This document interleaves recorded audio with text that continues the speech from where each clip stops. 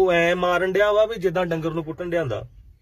ਬਾਕੀ ਇਹ ਸਹਾਨ ਕੋਈ ਨਾ ਕਰੇ ਕਿਸੇ ਤੇ ਕਿ ਅਸੀਂ ਉਹਦੇ ਹੱਕ 'ਚ ਖੜੇ ਤੇ ਇਦਾਂ ਹੋਇਆ ਵਾ। ਉਹ ਨਾ ਵੀ ਕੋਈ ਹੱਕ 'ਚ ਖੜਦਾ ਨਾ, ਉਹ ਤਾਂ ਵੀ ਉਹ ਕਾਰਵਾਈ ਹੋ ਚੁੱਕੀ, ਸਾਰਾ ਕੁਝ ਹੋ ਚੁੱਕਾ ਹੈ ਤੇ ਬਾਕੀ ਧੰਨਵਾਦ ਸਾਰੇ ਵੀਰਾਂ ਦਾ ਵਾ ਵੀ ਜਿਹੜੇ ਹੱਕ 'ਚ ਖੜ ਗਏ, ਇਨਸਾਨੀਅਤ ਦਾ ਫਰਜ਼ ਨਿਭਾਇਆ ਇਹਨਾਂ ਨੇ। ਇਨਸਾਨੀਅਤ ਇਹਨਾਂ ਦਿਖਾਈ ਵੀ ਸਾਡੇ ਵਿੱਚ ਇਨਸਾਨੀਅਤ ਹੈਗਾ, ਜੋ ਕਿ ਪਹਿਲੇ ਜਿੰਨੇ ਵੀ ਕੇਸ ਹੋਏ ਆ ਨਾ, ਉਹਨਾਂ ਦੇ ਵਿੱਚ ਕੋਈ ਨਹੀਂ ਬੋਲਿਆ। ਵੀ ਕੁਝ ਕੁ ਬੰਦੇ ਫੇਰ ਕਹੀ ਜਾਂਦੇ ਵੀ ਯਾਰ ਅਸੀਂ ਅਸੀਂ ਅਸੀਂ ਲੱਖਾਂ ਮੈਂ ਚੀਕਾਂ ਕਢਾਈਆਂ ਜਾਂ ਲੋਕਾਂ ਦੀਆਂ ਤਾਂ ਕਰਕੇ ਲੱਖਾਂ ਖੜਿਆ। ਵੇਖੋ ਗੱਲ ਇਦਾਂ ਵੀ ਜਿਹੜੀ ਗਲਤ ਗੱਲ ਆ, ਉਹ ਉਹਦੇ ਹੱਕ 'ਚ ਖੜਿਆ ਵਾ, ਹੈ? ਇਹ ਸਾਨੂੰ ਨਹੀਂ ਉਲਟੀਆਂ ਸਿੱਧਾ ਪੋਸਟਾਂ ਪਾ ਕੇ ਇਹ ਬਿਲਕੁਲ ਨਹੀਂ ਫੇਰੇ ਵੀ ਅਸੀਂ ਇੱਕ ਦੂਜੇ ਦੇ ਨਾਲ ਇਕੱਠੇ ਨਾ ਹੋਈਏ, ਇਹ ਵੀ ਗੱਲ ਨਹੀਂ ਕਰਨੀ ਚਾਹੀਦੀ। ਚਲੋ, ਉਹ ਹੱਕ 'ਚ ਖੜਿਆ ਵਾ ਤੇ ਚਲੋ ਖੜਨਾ ਵੀ ਚਾਹੀਦਾ ਇਨਸਾਨੀਅਤ ਹੈ ਬਾਕੀ ਲੱਖਾ ਇਹਨਾਂ ਚੀਜ਼ਾਂ ਤੋਂ ਲੰਘ ਚੁੱਕਾ। ਉਹਨੂੰ ਪਤਾ ਸਾਰਾ ਕੁਝ। ਤੇ ਜੇ ਇਦਾਂ ਹੱਕ 'ਚ ਖੜਦੇ ਰਹਿਣਗੇ ਇੱਕ ਦੂਜੇ ਦੇ ਤੇ ਬੇ- ਬੜਾ ਵਧੀਆ ਪੰਜਾਬ ਹੋ ਜਾਊਗਾ ਆ ਬੱਚੇ ਦੀ ਖਬਰ ਤੋਂ ਪਹਿਲਾਂ ਵੀ ਇੱਕ ਪਟਿਆਲਾ ਕੇਸ ਜਿਹੜਾ ਹੋਇਆ ਵਾ ਪਟਿਆਲਾ ਬਲਵੇੜਾ ਪਿੰਡ ਦੇ ਵਿੱਚ ਜਿਹੜਾ 12 ਸਾਲ ਦੀ ਕੁੜੀ ਦੇ ਨਾਲ ਬਲਾਤਕਾਰ ਹੋਇਆ ਉੱਤੇ ਕਿੰਨੀਆਂ ਕੁ ਪੋਸਟਾਂ ਪਾਈਆਂ? ਕਿੰਨੇ ਕੁ ਜਣੇ ਬੋਲੇ ਉੱਤੇ ਇਹ ਪਹਿਲੇ ਕੇਸ ਤੇ ਮੁੰਡੇ ਦੇ ਕੇਸ ਤੇ ਬੋਲ ਪਏ, ਬੱਲੀ ਬਾਂ ਬਾਂ ਕਢਾਤੀ ਵੀ ਯਾਰ ਅਸੀਂ ਬੋਲੇ ਅਸੀਂ ਬੋਲੇ। ਯਾਰ ਬੋਲਣ ਦਾ ਫਰਜ਼ ਆ, ਜਿੱਥੇ ਇਨਸਾਨੀਅਤ ਹੈਗੀ ਉੱਥੇ ਰੱਖੋ। ਫਰਜ਼ ਵੀ ਬੰਦਾ ਬੋਲਣ ਦਾ। ਪਰ ਗੱਲ ਇਦਾਂ ਵੀ 10 100 ਜਣੇ ਨੂੰ ਸੁਣਾ ਕੇ, ਬੋਲ ਕੇ 100 ਜਣੇ ਨੂੰ ਸੁਣਾਉਣਾ, ਇਹ ਇਹ ਇਹ ਕੀ ਆ? ਇਹ ਕੋਈ ਗੱਲ ਥੋੜੀ ਹੈਗੀ ਆ? ਤੇ ਗੱਲ ਮੇਰੀ ਯਾਦ ਰੱਖੋ, ਮਜਬੀ ਸਿੱਖ ਹਮੇਸ਼ਾ ਨਾਲ ਖੜਦੇ ਆ ਜਾਂ ਇਸ ਵੱਖ ਨਹੀਂ ਗਏ ਹੈਗੇ ਕਿਸੇ ਤੋਂ। ਜੇ ਪੰਜਾਬ ਦੇ ਵਿੱਚ ਭਾਈਚਾਰਾ ਬਣਾ ਕੇ ਰੱਖਣਾ ਤੇ ਸਾਰਿਆਂ ਨੂੰ ਇਕੱਠੇ ਰਹਿਣ ਦੀ ਲੋੜ ਆ। ਤੇ ਆ ਮੈਂ ਇੱਕ ਦੋ ਵੀਡੀਓ ਵੇਖਣ ਡਿਆ, ਇੱਕ ਚਵਲ ਜਿਹਾ ਕਹਿੰਦਾ ਮੈਂ ਐ ਕਰੂੰਗਾ ਉਹਨਾਂ ਦੀਆਂ ਕੁੜੀਆਂ ਨੂੰ ਜਿਉਂ ਕਰੂੰਗਾ ਮੈਂ ਕਰ ਦੂੰ ਕਹਿੰਦਾ ਵੀ ਜੱਟ ਭਰਾ ਮੇਰੇ ਸਾਥ ਦਿਓ, ਮੈਂ ਕਰੂੰਗਾ, ਜਿਉਂ ਕਰੂੰਗਾ। ਜੋ ਕਰਨਾ ਤੂੰ ਹੋ ਗਿਆ, ਹੁਣ ਤੇ ਮੁੰਡ ਚ ਬਾਹ ਪੈਣੀ ਆ। ਹੁਣ ਕੋਈ ਕਿਸੇ ਨੂੰ ਘੱਟ ਨਹੀਂ ਹੈਗਾ। ਸੋ ਵੀਰੋ, ਮੈਂ ਬੇਨਤੀ ਕਰਦਾ ਕਿ ਇੱਕ ਦੂਜੇ ਦਾ ਸਾਥ ਬਣਾ ਕੇ ਰੱਖੋ, ਇੱਕ ਦੂਜੇ ਦਾ ਸਾਥ ਦਿਓ। ਤੇ ਜਿਹੜੇ ਤੁਹਾਡੇ ਘਰੇਲੂ ਮਸਲੇ ਆ ਨਾ, ਉਹ ਨਾਲ ਘੱਟ ਖਿਆਲ ਦਿਓ। ਇਕੱਠੇ ਹੋਣ ਦੀ ਲੋੜ ਆ। ਯਾਰ ਉਹ ਇੱਕ ਬੱਚੇ ਦੀ ਬੜੀ ਕੁੱਟਮਾਰ, ਇੱਕ ਦਰਿੰਦੇ ਬੰਦੇ ਨੇ ਬੜੀ ਕੁੱਟਮਾਰ ਕੀਤੀ ਆ। ਤੇ ਉਹਦੇ ਹੱਕ ਦੇ ਵਿੱਚ ਲੱਖਾ ਸੁਧਾਣਾ ਆਇਆ ਤੇ ਲੱਖੇ ਸੁਧਾਣੇ ਦਾ ਦਿਲੋਂ ਸਤਿਕਾਰ ਕੀਤਾ ਅਸੀਂ ਸਾਰਿਆਂ ਨੇ। ਅਸੀਂ ਵੀ ਕੀਤਾ ਕਿ ਚੱਲ ਯਾਰ ਲੱਖਿਆ ਗਰੀਬ ਬੰਦੇ ਦੇ ਹੱਕ 'ਚ ਖੜਨਾ ਹੀ ਚਾਹੀਦਾ। ਗਰੀਬ ਕਿਹੜਾ ਯਾਰ ਜਿਹਦਾ ਨਿਆਕ ਹੁੰਦੀ ਉਹਦੇ ਖੜਨਾ ਹੀ ਚਾਹੀਦਾ।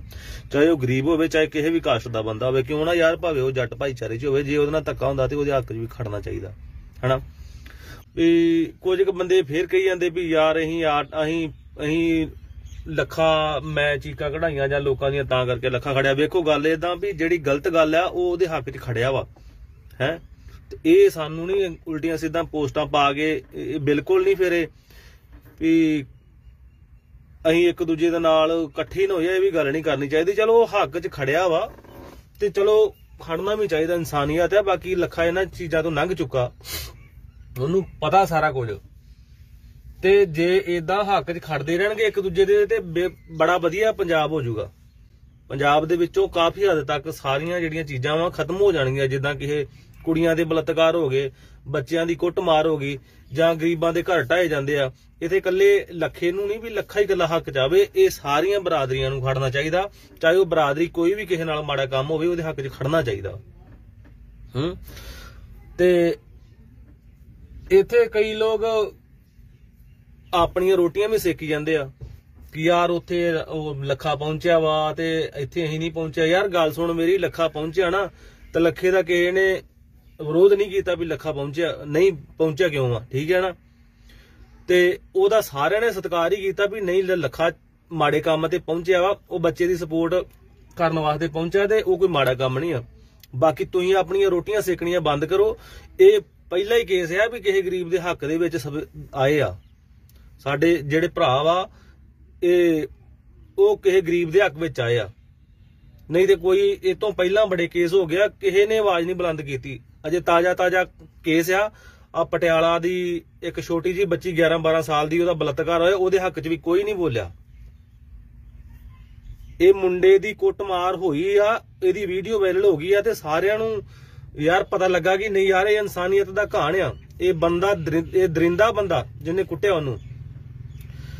ਤੇ ਇਹਦੇ ਖਿਲਾਫ ਵੀ ਇਹਦੇ ਖਿਲਾਫ ਖੜਨਾ ਉਹ ਮੁੰਡੇ ਦੇ ਹੱਕ 'ਚ ਖੜਨਾ ਚਾਹੀਦਾ ਤੇ ਕੁੱਟਣ ਵਾਲੇ ਦੇ ਖਿਲਾਫ ਖੜਨਾ ਚਾਹੀਦਾ। ਜਿਹੜੀ ਗੱਲ ਨੂੰ ਕੋਈ ਗਲਤ ਹੈ ਤੇ ਗਲਤੀ ਕਹੂਗਾ। ਪਰ ਯਾਰ, ਇਹ ਆਪਣੀਆਂ ਰੋਟੀਆਂ ਸੇਕੀ ਜਾਣੀ ਇਹ ਕਿਧਰ ਦੇ ਸਹੀ ਕੰਮ ਦੱਸੋ ਮੈਨੂੰ, ਹੈ? ਜੇ ਕਿਸੇ ਦੇ ਨਾਲ ਤੁਹਾਡਾ ਕੋਈ ਥੋੜਾ ਬਹੁਤਾ ਉੱਚੀ ਨੀਵੀਂ ਗੱਲ ਦੇ ਵਿੱਚ ਕੋਈ, ਆਪਸ ਵਿੱਚ ਹੀ ਕੋਈ ਹੈ ਵਾ ਤੇ ਉਹ ਤੁਸੀਂ ਆਪਣੇ ਵਿਹਲੇ ਟਾਈਮ ਤੇ ਨਿਬੇੜੋ ਯਾਰ। ਇਹ ਥੋੜੀ ਵੀ ਯਾਰ ਅਸੀਂ ਅਸੀਂ ਹੱਕ 'ਚ ਖੜੇ ਯਾਰ, ਇਹ, ਇਹ- ਕੋਈ ਅਲੋਕਾਰ ਹੈ ਵੀ ਯਾਰ, ਬਸ ਪਹਿਲੀ ਵਾਰ ਹੱਕ 'ਚ ਖੜੇ, ਕੋਈ ਇਹ ਹੱਕ 'ਚ ਖੜੇ। ਜੇ ਹੱਕ 'ਚ ਨਾ ਖੜਦੇ ਯਾਰ, ਉਹ ਤੇ ਪਰਚਾ ਤੇ ਹੋਇਆ ਸੀ 307 ਦਾ ਉੱਤੇ ਪਰਚਾ ਵੀ, ਇਹ ਵੀ ਉਹਨਾਂ ਪੰਗਾ ਪਾਇਆ ਡਾਕਟਰ ਮੱਟੂ ਨੇ ਇਹ ਵੀ ਕਿਹਾ ਹੈ ਵੀ 307 ਦੀ ਉੱਤੇ ਬੰਦੀ ਆ। ਇਹ ਇਰਾਦਾ ਕਤਲ ਦਾ ਕੇਸ ਬੰਦ, ਉਹ ਵੀ ਧਾਰਾ ਲਾਓ। ਤੇ ਕੱਲ ਬੜਾ ਵਧੀਆ ਕੰਮ ਹੋਇਆ ਵੀ ਚਲੋ ਲੱਖੇ ਵੀਰ ਹੁਣਾਂ ਨੂੰ ਵੀ ਜਾ ਕੇ ਸਾਰਿਆਂ ਨੇ ਰਲ ਮਿਲ ਕੇ ਉੱਤੇ 307 ਦੀ ਧਾਰਾ ਜਿਹੜੀ ਉਹ ਵੀ ਰਿਪੋਰਟ ਤੇ ਰਿਪੋਰਟ 'ਚ ਦੁਬਾਰਾ ਲਿਖਾਈ ਆ।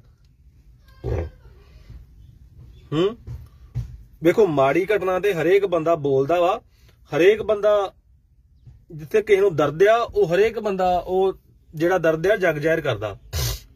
ਇਹੋ ਜਿਹੇ ਕਰਿੰਦੇ ਗੰਦੇ ਬੰਦੇ ਜਿਨ੍ਹਾਂ ਬੱਚਿਆਂ ਨੂੰ ਇੰਨੀ ਤਰ੍ਹਾਂ ਬੁਰੀ ਤਰ੍ਹਾਂ ਕੁੱਟਿਆ ਯਾਰ ਇਦਾਂ ਤੇ ਕੋਈ ਡੰਗਰ ਨੂੰ ਨਹੀਂ ਕੁੱਟਦਾ ਜਿੱਦਾਂ ਉਹਨੇ ਉਹ ਛੋਟੇ ਜਿਹੇ ਬੱਚੇ ਨੂੰ ਕੁੱਟਿਆ। ਉਹ ਪੂਰਾ ਮਾਰਨ ਦੇ ਇਰਾਦੇ ਦੇ ਵਿੱਚ ਹੀ ਉਹ ਬੰਦਾ। ਫਿਰ ਉਹਦੀ ਨਾਨੀ ਕਹਿੰਦੀ ਵੀ ਮੈਨੂੰ ਕਹਿੰਦਾ ਵੀ ਜੇ ਮੇਰੇ ਕੋਲ ਗੋਲੀ ਹੈਗੀ ਤਾਂ ਮੈਂ ਮਾਰ ਦਿੰਦਾ। ਯਾਰ ਇੰਨਾ ਕੀ ਇੰਨਾ ਕੀ ਜ਼ੁਲਮ ਕਰਤਾ ਸੀ ਉਹ ਬੱਚੇ ਨੇ ਵੀ ਤੂੰ ਕਹਿੰਦਾ ਗੋਲੀ ਮਾਰਤੀ। ਇੰਨਾ ਸਬਰ ਥੋੜਾ ਹੀ ਚੱਲ ਤੂੰ ਇੱਕ ਦੋ ਡੰਡਾ ਮਾਰਿਆ ਤਾਂ ਯਾਰ ਛੱਡ ਖੜਾ। ਹਨਾ? ਤੂੰ ਤੇ ਗੁਰੂਆ ਐ, ਉਹ ਐ ਮਾਰਨ ਡਿਆ ਵਾ ਵੀ ਜਿੱਦਾਂ ਡੰਗਰ ਨੂੰ ਕੁੱਟਣ ਡਿਆ ਹੁੰਦਾ। ਬਾਕੀ ਇਹ ਸਹਾਨ ਕੋਈ ਨਾ ਕਰੇ ਕਿਸੇ ਤੇ, ਕਿ ਅਸੀਂ ਉਹਦੇ ਹੱਕ 'ਚ ਖੜੇ ਤੇ ਇਦਾਂ ਹੋਇਆ ਵਾ। ਉਹ ਨਾ ਵੀ ਕੋਈ ਹੱਕ 'ਚ ਖੜਦਾ ਨਾ, ਉਹ ਤਾਂ ਵੀ ਉਹ ਕਾਰਵਾਈ ਹੋ ਚੁੱਕੀ, ਸਾਰਾ ਕੁਝ ਹੋ ਚੁੱਕਾ ਹੈ ਤੇ ਬਾਕੀ ਧੰਨਵਾਦ ਸਾਰੇ ਵੀਰਾਂ ਦਾ ਵਾ ਵੀ ਜਿਹੜੇ ਹੱਕ 'ਚ ਖੜ ਗਏ, ਇਨਸਾਨੀਅਤ ਦਾ ਫਰਜ਼ ਨਿਭਾਇਆ ਇਹਨਾਂ ਨੇ। ਇਨਸਾਨੀਅਤ ਇਹਨਾਂ ਦਿਖਾਈ ਵੀ ਸਾਡੇ ਵਿੱਚ ਇਨਸਾਨੀਅਤ ਹੈਗਾ, ਜੋ ਕਿ ਪਹਿਲੇ ਜਿੰਨੇ ਵੀ ਕੇਸ ਹੋਏ ਆ ਨਾ, ਉਹਨਾਂ ਦੇ ਵਿੱਚ ਕੋਈ ਨਹੀਂ ਬੋਲਿਆ। ਵਾਹਿਗੁਰੂ ਜੀ ਕਾ ਖਾਲਸਾ, ਵਾਹਿਗੁਰੂ ਜੀ ਕੀ ਫਤਿਹ।